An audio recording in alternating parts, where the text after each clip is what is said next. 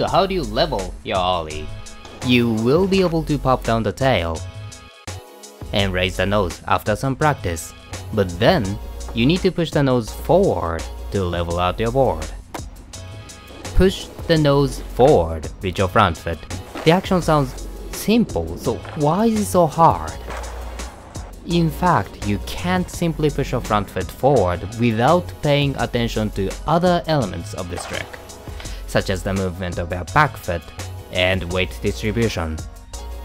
Let's scientifically break it down with why the trick.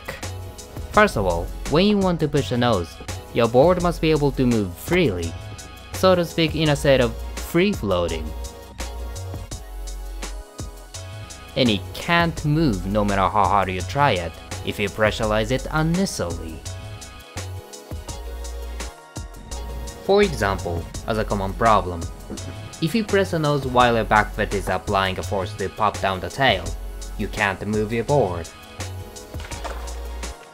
This is because the energy the nose receives increases proportionally to the power that you apply to the tail. In other words, the harder you push down the tail, the heavier the nose becomes while your back foot is on the tail. So, if you want to move your board when your back foot is pressing down the tail to lift your body weight, your front foot has to generate more energy than your back foot. But obviously, that is impossible. Your back foot generates significantly more power than your front foot, as it can directly stomp down the ground using your body weight. Due to the said reasons, you need to have your back foot not pushing down the tail by the time you slide up your front foot. As you can't pull up your back foot when your body is standing still, you first have to have your body weight going up before pulling up your back foot. Use both of your thighs and focus on pushing down your board evenly. As I said in the previous video, your board stays horizontally flat in this step because you'll be exerting a downward force on both of your feet evenly. It is absolutely essential to understand jumping is different from popping. Popping is an action of hitting the tail against the ground using the movement of your ankle after having your body in the air. While jumping, obviously, is to bring your weight upward. Without understanding this difference, you might kick down the tail with your entire leg. Then, your back foot will remain on the tail unnecessarily longer as your body stays low once again, you can't push the nose, no matter how you use your front foot, while pressing down the tail. So, make sure to lift your body weight first, and keep the tail of your board a snap of your ankle. This way, you can bring up your back foot easier. Going back to the use of the upper body, the role of the upper body doesn't end here.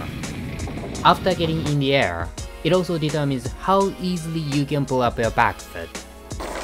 The point is, conservation of energy applies here too. Gosh, I used to hate this when I was a student.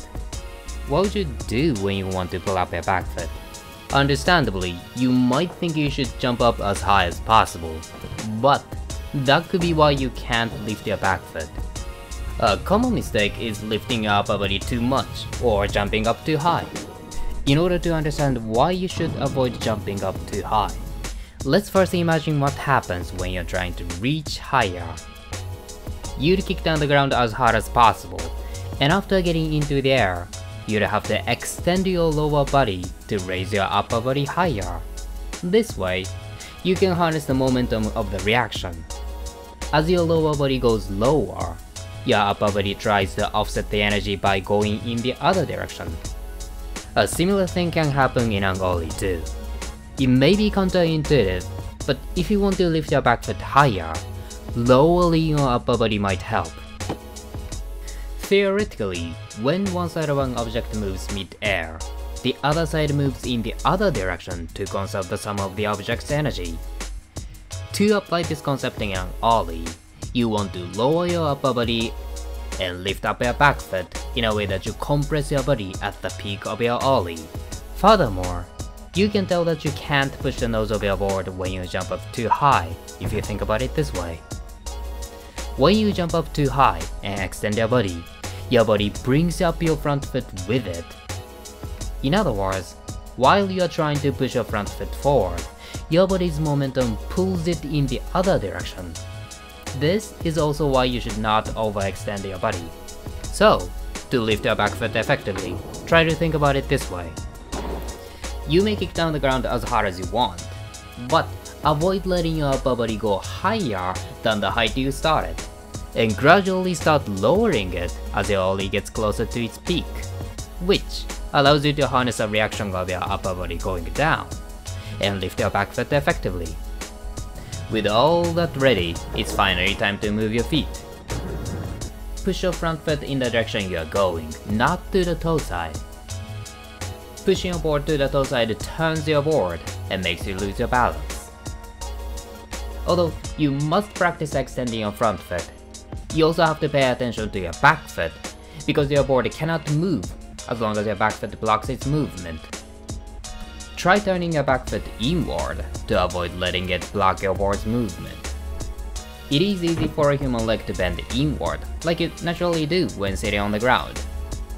So, if you think you can't push your board forward even when you're trying to, make sure your back foot is not blocking its movement. And if it is, try turning it inward. Lastly, let's talk about landing. Given you could push your board forward, how do you land back on it? If you don't do anything, you will land outside of your board as your body's center of gravity and your board are not aligned. Theoretically, there are two options. It's either putting your board back underneath you, or sending your body forward over your board. Obviously, the second option is impossible unless you can fly. So, eventually you have to go for option number one, and that's when the previous step becomes the most important. According to the previous step, you should turn your back leg inward. Doing so generates tension outside your leg. Your back foot will naturally return to the neutral position as you release such tension outside your leg, which helps you bring your board under your feet. Keep in mind that you should not tilt your body axis. If you push your board forward by leaning backward, you won't be able to get back on your board. Because once tilted, the axis will continue tilting in the same direction due to inertia. So always make sure to keep your body axis straight upward. And that's all for this episode. What do you think is the biggest key to leveling your Ollie? Please leave a comment down below. As always, thank you for watching. Until next time.